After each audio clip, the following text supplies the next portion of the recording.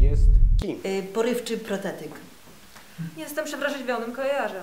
Ma pan dzisiaj do wyboru dwie wspaniałe kobiety. Jakbyście chciały mi zrobić wielką przyjemność, to co byście zrobiły?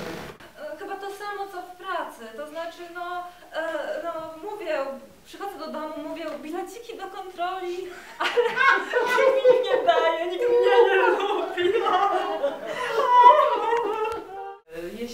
Mógłbyś, mogłabyś zmienić zawód, to co to by było?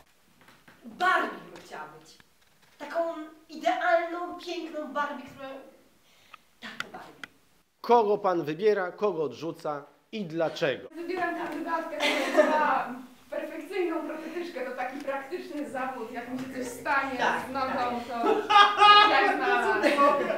Brawa dla pana Zbigniewa, dziękujemy bardzo. Głos mają sędziowie. E, To było niesamowite, e, w jaki sposób to się e, ułożyło, ponieważ zadanie było dla kandydatki numer dwa, że ma być panią protetyk, czyli tą, która zajmuje się protezami, czyli zębami, a nie panią ortopedą.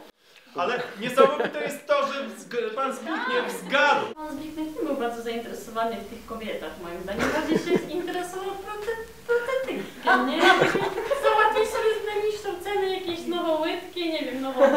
coś tam jeszcze. Tak. To moja cena 4